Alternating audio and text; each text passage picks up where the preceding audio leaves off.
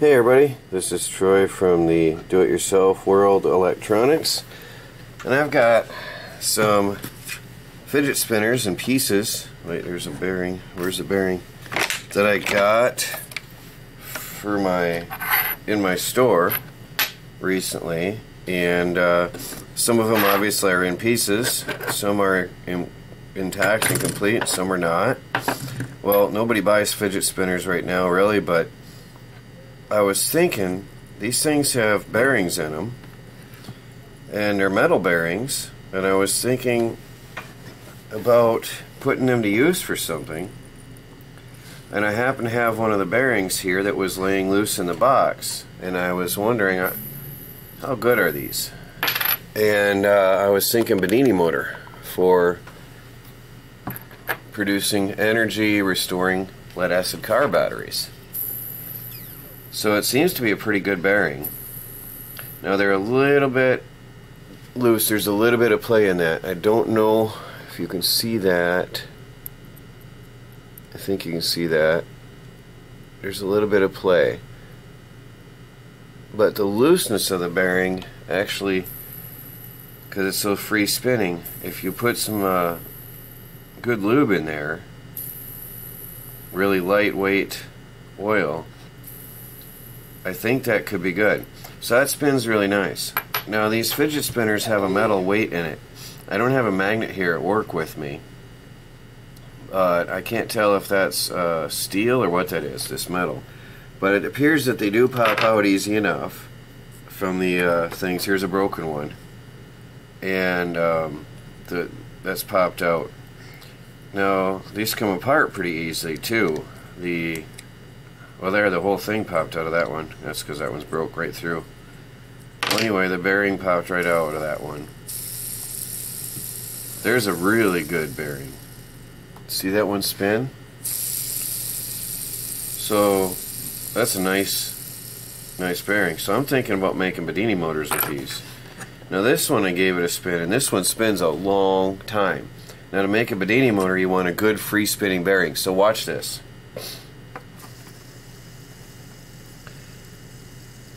This thing, if I hold it flat, this thing spins freely for quite a long time. Now I could have spun it harder, and it'll uh, it'll go longer. But for a good Bedini motor, you want a nice flywheel action and a good loose free bearing, uh, free spinning. So if you give it a spin, the longer it spins, the better it's going to be for your Bedini motor. Now look at that one going and going and going. This one here is going to make an awesome, awesome three magnet Bedini motor. So you could probably do three coils using this uh, mini coils. So when I get a chance, I'm going to wire up some tiny little coils. Look at that, still free spinning. That is amazing. And I didn't even spin it as hard as I could have. Now this one here, I got to hold it uh, carefully because it's missing its middle plug. Maybe I can pop a plug out of here and put it on there. Of course, now that I want to, I can't get the cap off. It's funny. Let's see if I can hold that without touching the bearing.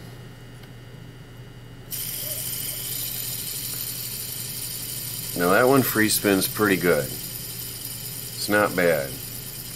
That bearing is a little bit louder though. You can tell the difference though. That black one spun a long time. So what I'm thinking is these will make some very good Bedini motors. I don't know how hard it is to pop these metal cores out, whatever they are. I'm going to check them with a magnet and see if that's uh, magnetic materials. It's funny, now that I want to, I can't pop them apart. Had it part way. There it goes. See that those caps come off. Um, see if that's magnetic because you don't want magnetic materials. Depends. Um, I'll have to see how it reacts with the magnets. So I'm going to have to go to the dollar store and get some round ceramic magnets with clear north and south poles on them. Glue them into here and uh, make myself some coils, and I think I'll have myself some good fidget spinner based Bedini motors. And this one here spins amazing. and it's quiet. That's a really quiet bearing. So I'm going to go through these before I sell any, and I'll find the best of them for their bearings. Uh, as far as free spinning like this one is. Oops, I just touched it and it's still spinning. Anyway, I want to make some Bedini motors. And uh, what I'm probably going to do is assemble the parts in a kit form and sell the parts so you guys can put them together yourselves. Of course, if somebody wants to go ahead and make them themselves and copy what I'm doing, that's fine. But if anybody wants, I have a whole mess of fidget spinners here, and uh, I think that's a great use for them. That one is just so good. So what I'm going to do, now I got the idea, I did not find anything on the internet, I didn't do any research. I saw these, I saw the bearing sitting in the box, and I'm thinking, Bedini motor. Definitely, that's what I was thinking. When I see bearings like that and a flywheel action, I'm thinking Bedini motor right there. So, um, I can see putting a, a vinyl bolt through that, straight through a piece of wood, and suspending this off the wood high enough above the coils, and having your three coils I'll start out with one for a basic uh, motor and then expand to three coils on video later on. But I can see that being a really cool uh, series of projects. So stay tuned guys. That'll be coming up here pretty soon.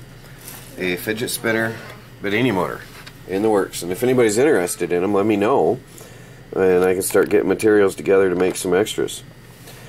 Well, thanks for watching guys. Please like, subscribe, and share, and hit that bell icon on the bottom there to make sure you get notifications and watch for updates. Troy from the Do It Yourself World Electronics. Talk to you later.